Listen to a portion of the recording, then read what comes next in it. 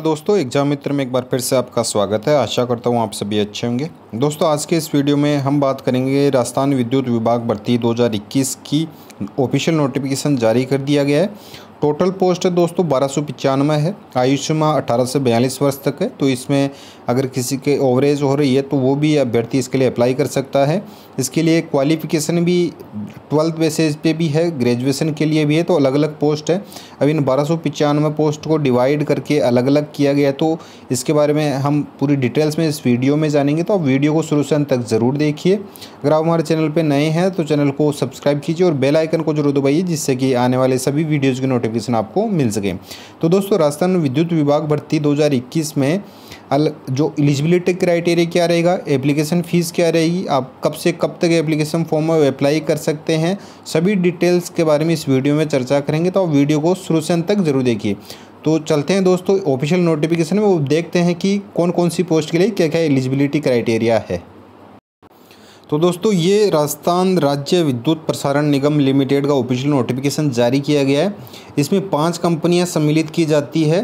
जो ये पाँच कंपनियाँ हैं, वो ये आप जैसा कि आप यहाँ पे देख सकते हैं, इन पाँच कंपनियों में दोस्तों ये बारह सौ पचानवे पदों के लिए भर्ती निकाली गई है। पहली है राजस्थान राज्य विद्युत प्रसारण निगम लिमिटेड, दूसरी है R V U N L, J V V N L, A V V N L और J D V V N तो आपके अगर बिजली का बिल आता हुआ तो उसके ऊपर ये कंपनियों के नाम लिखे हुए ज़रूर आते होंगे तो आप इनसे चित परिचित ज़रूर होंगे। अब इन कंपनियों में कौन कौन से एरिया आते हैं तो ये भी आप यहाँ पे देख सकते हैं। तो इन कंपनियों के द्वारा ये एक गवर्नमेंट के अंडर में कार्य करती है तो इनमें ये भर्तियाँ निकाली गई है, बारह सौ पोस्ट में। तो ये बारह सौ पोस्ट है, दोस्तों, वो असिस्टेंट पर्सनल ऑफिसर की है जूनियर लीगल ऑफिसर की है, जूनियर अकाउंटेंट की है स्टेनोग्राफर की है जूनियर असिस्टेंट या कमर्शियल असिस्टेंट सेकंड के लिए इनके लिए पोस्ट निकाली गई है। अब इनको डिवाइड करके दोस्तों अलग अलग किया गया है। अब इनका डिवाइडेशन देख लेते हैं। सबसे पहले है असिस्टेंट पर्सनल ऑफिसर की है। इनमें ये कंपनियों को यहाँ पे डिटेल दी गई है J V V N L के A V V N L तो यहाँ पे आप ये देख सकते हैं, इसका स्क्रीन ले सकते हैं। तो इनमें जो टोटल वैकेंसीज़ हैं अलग अलग जो पर्सनल ऑफिसर के लिए है तो इनमें तीन, आठ तीन पाँच, एक तो ये टोटल नौ पोस्ट है इनके लिए। ये तो फ़र्स्ट ग्रेड की है। ये मान लीजिए कि ये हाई लेवल के ऑफिसर की है तो ये नो पोस्ट निकाली गई अब इनको कैटेगरी वाइज डिवाइड किया गया यहाँ पे आप देख सकते हैं कौन कौन सी कैटेगरी के लिए कौन कौन कितनी कितनी पोस्ट दी गई है। तो अगर आप इसके लिए एलिजिबल हैं तो आप देख सकते हैं, अब ये टीएसपी एरिया के लिए भी है और नॉन टीएसपी एरिया के लिए भी है। वो नॉन टीएसपी के लिए तो ये टीएसपी के लिए टीएसपी के लिए केवल दो पोस्ट निकाली गई है पर्सनल ऑफिसर के लिए। जो नेक्स्ट है दोस्तों, वो है सेकंड है, वो है जूनियर लीगल ऑफिसर की। इनकी एलिजिबिलिटी क्राइटेरिया के बाद में, बारे में भी बात करेंगे दोस्तों। तो जो जूनियर लीगल ऑफिसर है, उनके लिए भी आप यहाँ पे देख सकते हैं। टोटल है वो बारह पोस्ट निकाली गई है। बारह पोस्ट है और ये देख सकते हैं यहाँ पे। J V V N L के लिए J D V V N L के लिए है और ये आर वी पी एन के लिए तो ये टोटल है बारह पोस्ट है। अब इनको डिवाइड करके यहाँ पे, इनको डिवाइड करके कैटेगरी वाइज डिवाइड कर दिया गया। ये नॉन टी एस पी के लिए है और ये इस वाले सेक्शन में यहाँ पे टीएसपी एरिया के लिए है। टीएसपी के लिए केवल एक पोस्ट है। तो ये होगी पर्सनल ऑफिसर की और जूनियर लीगल ऑफिसर की। अब नेक्स्ट है दोस्तों, उसकी बात करते हैं। जो थर्ड है, वो थर्ड है नेमो पोस्ट जूनियर अकाउंटेंट की। अकाउंटेंट की है। अब अकाउंटेंट के लिए कितनी पोस्ट निकाली गई है दोस्तों? तो अकाउंटेंट के लिए अच्छी खासी पोस्ट निकाली गई है टोटल है 280 पोस्ट है। इन 280 पोस्टों को डिवाइड किया गया है। आर वी पी एन के लिए R V U N L के J V V N L के लिए A V V N L के जी और जोधपुर विद्युत वितरण निगम लिमिटेड के लिए। तो इनको कैटेगरी वाइज डिवाइड किया गया है। यहाँ पे आप देख सकते हैं, इसका स्क्रीनशॉट भी आप ले ले सकते हैं। तो ये थर्ड हो गई दोस्तों, यहाँ पे जूनियर अकाउंटेंट की। अब जो फोर्थ है, इनकी कैटेगरी वाइज यहाँ पे टीएसपी नॉन टीएसपी एरिया के लिए भी है। जैसे टीएसपी एरिया को ऊपर दिया गया तो नॉन टीएसपी के लिए ये है, जूनियर लीगल ऑफिसर के लिए। अब जो नेक्स्ट है दोस्तों, वो बात करते हैं कि नेक्स्ट कौन सी पोस्ट है। नेक्स्ट है यहाँ पे स्टेनोग्राफर की। स्टेनोग्राफर की दोस्तों टोटल पोस्ट है, वो है थर्टी फाइव यहाँ पर आप देख सकते हो थर्टी फाइव है, इनको सभी में डिवाइड करके कैटेगरी वाइज यहाँ पे रखा गया थर्टी फाइव को तो यहाँ पे देख सकते हैं, अगर आप इनसे बिलोंग करते हैं तो आप इनके लिए बढ़ सकते हैं। नॉन टीएसपी की होगी स्टेनोग्राफर में और ये है टीएसपी की। यहाँ पे ये टीएसपी की आप देख सकते हैं। टीएसपी के लिए केवल टोटल तीन पोस्ट है। अब नेक्स्ट है दोस्तों, वह है जूनियर असिस्टेंट या कमर्शियल असिस्टेंट सेकंड एक ही बात है दोस्तों तो इसमें सबसे ज़्यादा पोस्ट निकाली गई है जूनियर असिस्टेंट की। तो इसमें जो टोटल पोस्ट है, वो है seven hundred sixty eight post है। टोटल पोस्ट है सेवन हंड्रेड सिक्सटी एट तो ये आपके लिए हैं। और उम्मीद करता हूँ अगर आप ऊपर वाली जो पोस्ट है, उनमें भी अगर आप एलिजिबल हैं, उन क्राइटेरिया को फिल करते हैं तो उनके लिए भी आप अप्लाई कर सकते हैं। तो इनमें आप देख सकते हैं, यहाँ पे कैटेगरी वाइज सबका डिवाइडेशन किया गया है। इसमें ये काफ़ी सारी पोस्ट निकाली गई है। सेवन हंड्रेड सिक्सटी एट है, सात सौ अड़सठ पोस्ट है, और इसके लिए जो क्वालिफिकेशन है, वो भी देखते हैं। तो ये जूनियर असिस्टेंट की होगी, वो नॉन टीएसपी की थी, और ये टीएसपी की है। तो टीएसपी में अच्छी खासी पोस्ट है। टीएसपी में 152 पोस्ट है इन जूनियर असिस्टेंट के लिए 152 अगर आप टीएसपी एरिया से बिलोंग करते हैं तो 152 पोस्ट है और कैटेगरी वाइज देख के आप इसके लिए अप्लाई कर सकते हैं।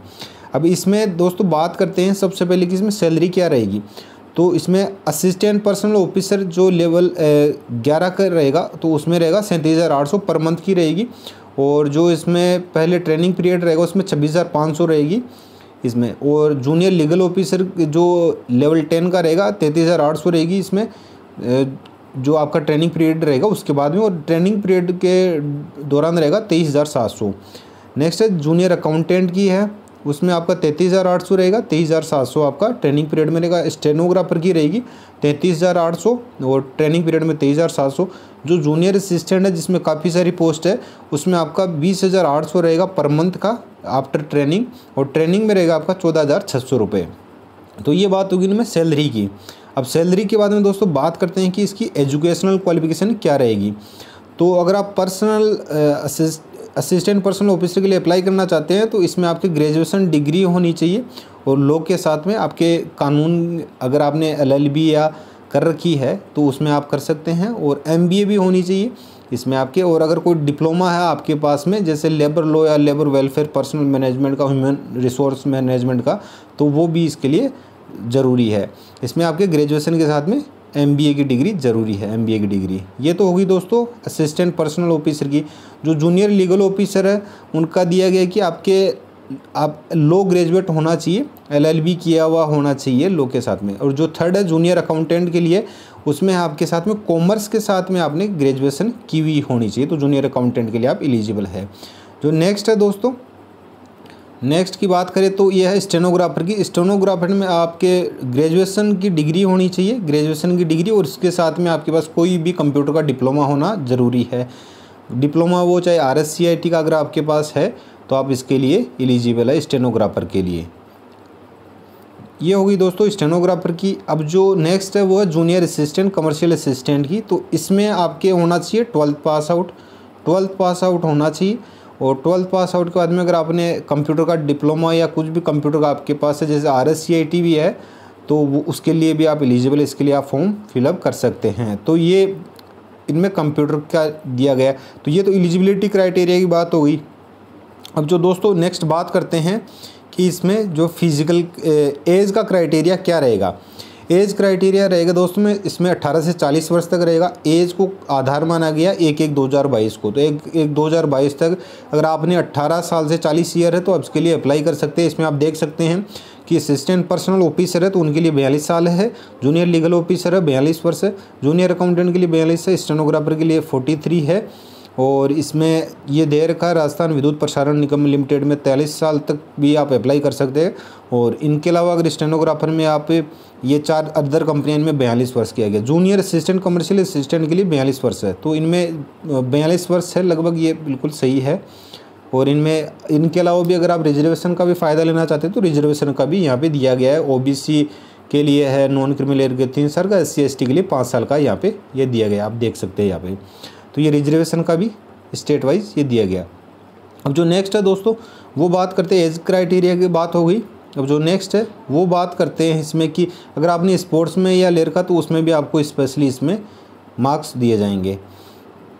नेक्स्ट है दोस्तों, बात करें इसमें कि आप कब से कब तक अप्लाई कर सकते हैं।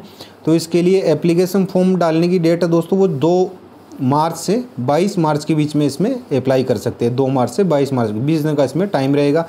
और इसमें ये लिंक दिया गया है, यहाँ पे इन लिंक पे आप ऑनलाइन एप्लीकेशन डाल सकते हैं W W dot energy dot Rajasthan dot G O V dot in पे। इन पे आप जाके ये यहाँ पे जो कंपनी यहाँ है, उनके लिंक यहाँ पे दिए गए हैं तो इन पे आप अप्लाई कर सकते हैं। और जो सबसे मोस्ट इम्पोर्टेंट बात है दोस्तों, वो रहती है कि फ़ीस सर इसमें कितनी रहेगी? एप्लीकेशन फ़ीस कितनी रहेगी? तो दोस्तों, इसमें एप्लीकेशन फ़ीस वो काफ़ी हाई है। जनरल कैटेगरी के लिए और जो ओ बी सी है उनके लिए ई e के लिए तो उनके लिए सोलह सौ रुपये हैं इंक्लूडिंग जीएसटी और इनके अलावा अगर जिनके ढाई लाख से कम, जिनकी इनकम है तो उनके चौदह सौ रुपये ये काफ़ी ज़्यादा इसकी एप्लीकेशन फ़ीस है। तो ये बात हो गई दोस्तों यहाँ पे फ़ीस के बारे में। अगर आप अप्लाई करना चाहते हैं तो आप अप्लाई कर सकते हैं। ये ऑफिशियल नोटिफिकेशन जारी किया गया तो आप ऑफिशियल नोटिफिकेशन है, ये वेबसाइट से भी आप डाउनलोड कर सकते हैं। इसमें बाकी अन्य गाइडलाइंस दी गई है कि आपको किस तरीके से अप्लाई करना है, आपके डॉक्यूमेंट स्कैन करके अपलोड करना है लेफ़्ट थंब इम्प्रेशन आपको उसका स्कैन करके इसमें अपलोड करना है तो बाकी इसमें ये डिटेल्स दी गई है। और इसमें बात करें कि जो सिलेबस है, वो एग्ज़ाम पैटर्न क्या रहेगा? तो इसमें असिस्टेंट पर्सनल ऑफिसर का है, जिसमें 60 परसेंट वेटेज तो दोस्तों इसमें इनका खुद का दिया गया है 60 परसेंट वेटेज है। इनमें दिया गया जैसे constitution of India the industrial dispute act 1947 तो इनमें लॉ से रिलेटेड है, वो दिया गया है। और जो सेक्शन बी रहेगा, जो पार्ट ए पार्ट बी है, इसमें सेक्शन बी में दिया कॉन्सेप्ट ऑफ़ पर्सन जो एमबीए से रिलेटेड अगर आपने स्टडी किया तो उनसे रिलेटेड रहेगा। इसमें पार्ट ए और पार्ट बी में। तो पार्ट ए सिक्सटी परसेंट का है और 60 परसेंट में section A, section B divide किया गया। अब जो नेक्स्ट है 40 परसेंट वेटेज है, वो 40 परसेंट रहेगा। इसमें पर्सनल असिस्टेंट के लिए रीजनिंग का रहेगा, मैथमेटिक्स का जी के हिंदी और इंग्लिश का। तो जैसे 60 40 का इसमें वेटेज दिया गया है। जिन्हों, जिनसे आपने स्टडी की है, उसका सिक्सटी परसेंट रहेगा और फोर्टी परसेंट वेटेज रहेगा reasoning, mathematics G K G S और हिंदी, इंग्लिश का। तो ये बात होगी इनकी। और इनको डिटेल में दिया गया कि reasoning and mental ability mathematics में क्या क्या आएँगे, यहाँ पे आप देख सकते हैं। इसका ये ऑफिशियली नोटिफिकेशन में अब जो नेक्स्ट है दोस्तों, वो देखते हैं कि जो अन्य पोस्ट है, उनके लिए जूनियर लीगल ऑफिसर के लिए भी सिक्सटी फोर्टी का वेटेज है। जूनियर लीगल ऑफिसर के लिए भी जो आपने अगर लो लो कर रखी है तो सिक्सटी परसेंट वेटेज उसका रहेगा, जैसे लॉ से रिलेटेड जो भी प्रश्न उसमें आएँगे। और फोर्टी परसेंट में सेम पर्सनल जो ऑफिसर है, उसके समान ही है रीजनिंग का मैथमेटिक्स का जी के जी एस हिंदी और इंग्लिश का। तो ये बात होगी दोस्तों, अब जूनियर अकाउंटेंट की है सिक्सटी परसेंट वेटेज रहेगा, आपने कॉमर्स से ग्रेजुएशन कर रखी है तो उससे रिलेटेड आपके सिक्सटी परसेंट वेटेज रहेगा और फोर्टी परसेंट रहेगा reasoning mental ability mathematics G K G S Hindi और इंग्लिश का। तो ये हो गई दोस्तों रीजन और यहाँ नीचे डिटेल्स में बताया गया। अब जो स्टेनोग्राफर है दोस्तों स्टेनोग्राफर का देखते हैं। स्टेनोग्राफर में दोस्तों यहाँ पे फोर्टी और सिक्सटी का है। जो ऊपर की तीन पोस्ट थी, उनमें सिक्सटी फोर्टी का था, लेकिन अभी इनमें है फोर्टी परसेंट और सिक्सटी परसेंट का। तो दोस्तों फोर्टी परसेंट का वेटेज है, वो है जी इसमें रीजनिंग का मैथमेटिक्स का जी के जी एस का और हिंदी और इंग्लिश का। ये तो फोर्टी परसेंट आपका पेपर का रहेगा। अब जो सिक्सटी परसेंट वेटेज रहेगा दोस्तों, वो रहेगा आपका टाइपिंग का। टाइपिंग का स्टेनोग्राफर के लिए रहेगा। इसमें रहेगा आपके इंग्लिश के लिए सौ वर्ड पर मिनट्स का रहेगा तो इसमें सौ मार्क्स रहेंगे और इसमें आपके जो स्पीड चेक की जाएगी कि आपकी एक्यूरेसी कितनी है तो दस मिनट का ये दिया जाएगा, साठ मिनट्स का टाइम ये दिया जाएगा तो टोटली हंड्रेड मार्क्स का होगा। हिंदी और इंग्लिश दोनों का होगा। हिंदी में भी आपका चेक किया जाएगा।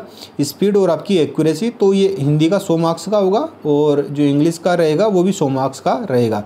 तो ऐसे मिला के दो सौ मार्क्स के ये रहेंगे।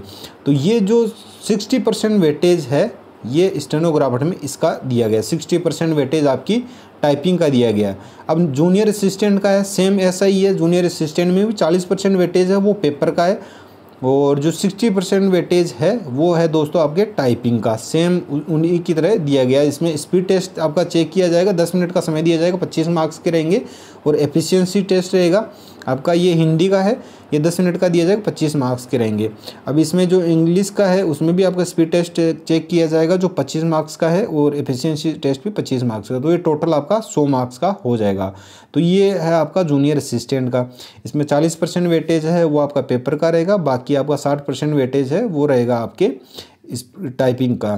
तो ये सारी डिटेल्स दो तो इस ऑफिशियल नोटिफिकेशन में दी गई है। आपको किसी भी तरह कोई इश्यू आ रहा है या कोई भी आपका डाउट है तो आप हमें कमेंट बॉक्स में पूछ सकते हैं। या लास्ट में यहाँ पे डेट दी गई है कि आप कब से कब तक अप्लाई कर सकते हैं। कोई भी आपको अगर इन्फॉर्मेशन और चाहिए तो ये हेल्पलाइन नंबर दिया गया, इन पर आप कॉल कर सकते हैं nine four one four zero one six zero seven nine तो इन पर आप कॉल करके जानकारी ले सकते हैं। आई होप आपको ये वीडियो पसंद आया होगा। अगर आपके किसी भी तरह कोई डाउट है मन में तो आप कमेंट बॉक्स में पूछ सकते हैं। धन्यवाद। जय हिंद। जय भारत।